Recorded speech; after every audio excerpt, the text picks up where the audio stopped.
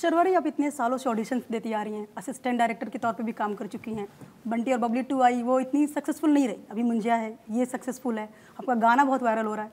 आपने जिस वायरफ की फ़िल्म के ऑडिशन अब रिजेक्ट हुई थी उसी वायरफ की फ़िल्म करने जा रही है वो भी आलिया भट्ट के साथ तो कैसे ये फीलिंग है?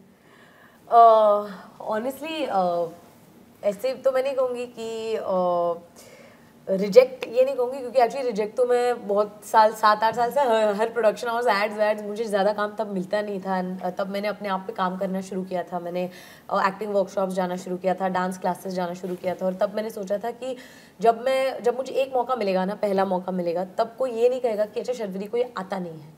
तो उस वो जो पीरियड था तब मैंने ये सारी स्किल्स कोशिश की कि मैं डेवलप करूँ।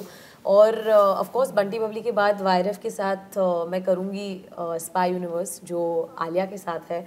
आलिया मेरी फेवरेट एक्ट्रेस है। और मैं ये पहले भी बोल चुकी हूँ। इनफैक्ट मैंने बहुत साल पहले कोविड के टाइम पे एक इंटरव्यू में कहा था जूम इंटरव्यू पे कि किसके साथ काम करना चाहेंगे और मेरा पहला आंसर हमेशा आलिया भट्ट होता है। तो ये दो साल मैनिफेस्ट किया था? आई गेस ये मैनिफेस्ट किया हुआ था और मुझे बस ऑनेस्टली एक स्टूडेंट बन के जाना है उस सेट पे क्योंकि वो बेहतरीन एक्ट्रेस है और मुझे बस जाके वहाँ सीखना है।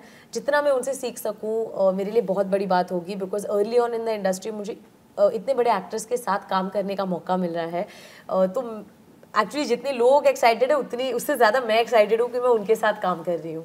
पॉलिटिकल बैकग्राउंड से हैं आप तो कभी ऐसा सोचा है पॉलिटिक्स में जाने के लिए?